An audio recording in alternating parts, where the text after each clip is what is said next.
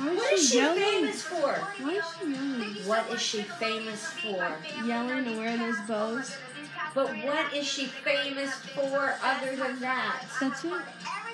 That's. She's got a gazillion fucking dollars for wearing a bow in her hair? Yep. Jesus Christ, lady, you better get a fucking bow in your hair. I know. I just recorded that. She does take off her bow, Shocker. just not